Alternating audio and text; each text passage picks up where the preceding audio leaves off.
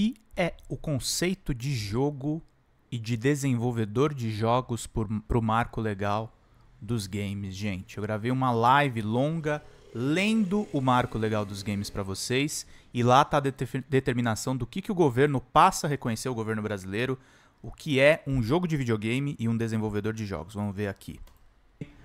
Que a gente está feliz com essa boa notícia.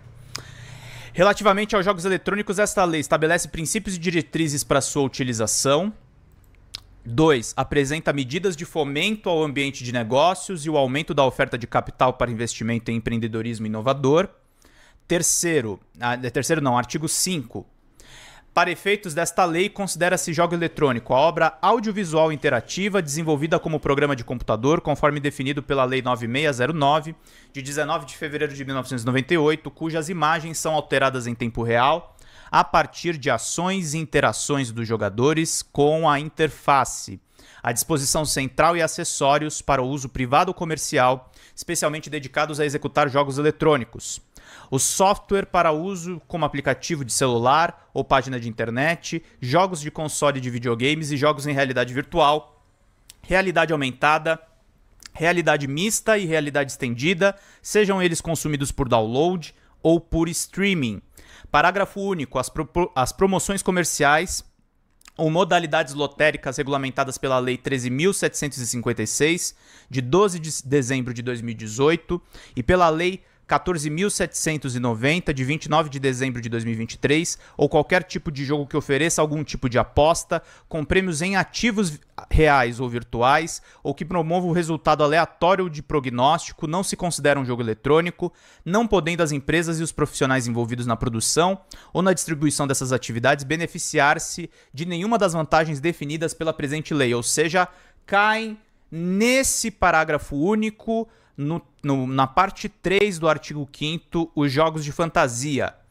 Ar, artigo 6. São princípios e diretrizes dessa lei o reconhecimento do empreendedorismo inovador em jogos eletrônicos como vetor de desenvolvimento econômico, social, ambiental e cultural. É aquela ideia de enxergar os games como investimento estratégico do governo. Fomento ao empreendedorismo inovador como meio de promoção da produtividade e competitividade da economia brasileira e de geração de postos de trabalho qualificados. Promoção da diversidade cultural e das fontes de informação, produção e programação.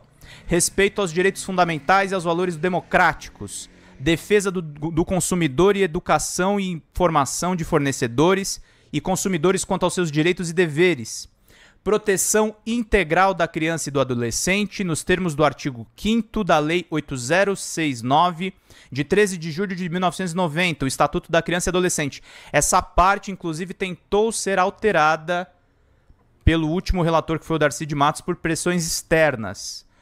Parte número 7. Preservação da privacidade, proteção de dados pessoais e autodeterminação informativa nos termos da lei 13.709, de 14 de agosto de 2018, a Lei Geral de Proteção de Dados Pessoais, uma consequência direta do Marco Civil da Internet. Seção número 2, do enquadramento das empresas desenvolvedoras de jogos eletrônicos. Artigo 7 Consideram-se empresas desenvolvedoras de jogos eletrônicos as organizações empresariais e societárias que tenham por objetivo criar jogos eletrônicos, conforme a definição do artigo 5 enquadram-se como profissionais da área de jogos eletrônicos, sem prejuízo de outras profissões, o artista visual para jogos, o artista de áudio para jogos, o designer é, de narrativas de jogos, o designer de jogos, o programador de jogos, o testador de jogos e o produtor de jogos. Aos profissionais listados no inciso 1, aplica-se no que couber o disposto nas leis complementares números 123 de 14 de dezembro de 2006, Lei do Simples Nacional, e 128 de 19 de dezembro de 2008, para fins de, inscri de inscrição e constituição na forma de microempreendedor individual, o MEI, microempresas e empresas de pequeno porte para fins desta lei, considera-se artista visual para jogos, profissional especializado em criar elementos visuais ou estáticos ou dinâmicos para jogos eletrônicos, Art artista de áudio para jogos, profissional especializado em conceber, projetar, desenvolver e implementar elementos sonoros para jogos eletrônicos, o designer de narrativa de jogos, profissional especializado em conceber, projetar, desenvolver e implementar a narrativa, a história e a estrutura da narrativa de um jogo eletrônico. Designer de jogos, profissional especializado em conceber, projetar, corrigir, balancear, aprimorar e expandir a experiência interativa de jogo. Programador de jogos, profissional especializado em desenvolver a lógica e o código que permitem o funcionamento do jogo eletrônico. E o testador de jogos, profissional especializado em testar e avaliar os jogos eletrônicos em desenvolvimento, a fim de identificar falhas ou gargalos durante a sessão de jogo e outros defeitos possíveis. Sétimo, produtor de jogos, profissional especializado em liderar e supervisionar o desenvolvimento de jogos eletrônicos, desde a conce concepção até o lançamento. A cobrinha. Ah, o parágrafo, desculpa, eu falei inciso, né? É parágrafo. Parágrafo, set, é, parágrafo quarto, né? É... Vamos lá então, queridos e queridas. Eu botei na cabeça que é inciso. Eu tô meio maluco aqui, gente. Tá na doideira aqui, só na leitura. Deixa eu ver aqui para vocês acompanharem. Obrigado, Caos Cal. Boa, tiraram os bets disso. A cobrinha é o parágrafo, Pedro. Exatamente. Obrigado, meu caro. Deixa eu fazer aqui algumas correções aqui, as minhas leituras. Mas vamos ficar por dentro de tudo. E... E vamos seguindo aqui para todo mundo poder ficar por dentro de tudo, gente. Pam, pam, pam, pam. Deixa eu ver aqui um minutinho.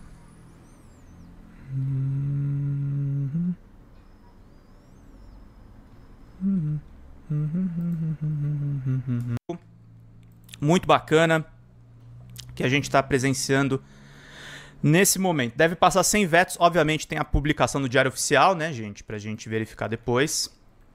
Mas vamos lá. E é bem abrangente a, a classificação, né, gente? Tem testador, produtor, tá tudo regularizado justamente para que o setor seja é, abarcado em sua totalidade, né? O artigo 8 para fins de aplicação desta lei, são elegíveis para o enquadramento para o enquadramento na modalidade de tratamento especial ao fomento dos jogos eletrônicos o empresário individual, as sociedades. Ah, não, antes disso, no parágrafo 4 lá do da parte 7. O Instituto Brasileiro de Geografia e Estatística, o IBGE, disponibilizará um código específico na Classificação Nacional de Atividades Econômicas para empresas desenvolvedoras de jogos eletrônicos. Artigo 8 para fins de aplicação desta lei, são elegíveis para o enquadramento na modalidade de tratamento especial ao fomento dos jogos eletrônicos o empresário individual, as sociedades empresariais, as sociedades cooperativas, as sociedades simples e os microempreendedores individuais, o MEI, com receita bruta até 16, é, 16 milhões, 16 milhões de reais no ano calendário anterior ou 1 milhão 333 mil e 334 reais, multiplicado pelo número de meses de atividade no ano calendário anterior, quando inferior a 12 meses, independentemente da forma societária adotada.